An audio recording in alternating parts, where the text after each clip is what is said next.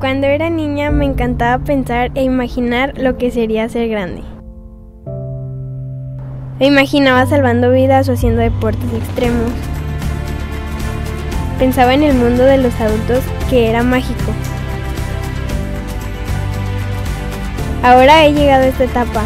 Creo que la verdadera magia brilla dentro de cada uno de nosotros.